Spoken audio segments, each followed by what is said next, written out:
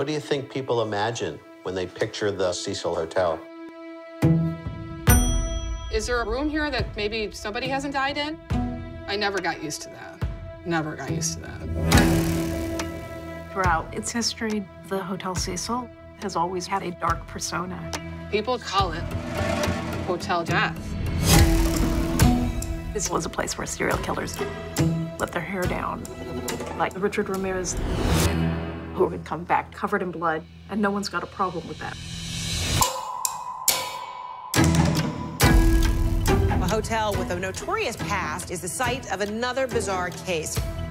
Elisa Lam from Vancouver, Canada, is missing. The big unanswered question is, where is she? The last footage that we have of her was inside the elevator. That's where the case starts to go askew. She kept looking outside the door. Why is the elevator not going anywhere? Is someone keeping her here? Her hand movements are very strange and erratic. Like she's conjuring a spirit.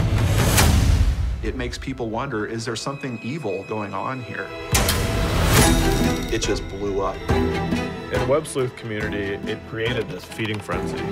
If it's a murder, then you need a murderer. You really don't have the full story. She was running around trying to save her own life. Had things keep happening here over and over again. This hotel was hiding something. I would have never thought what was about to happen could happen.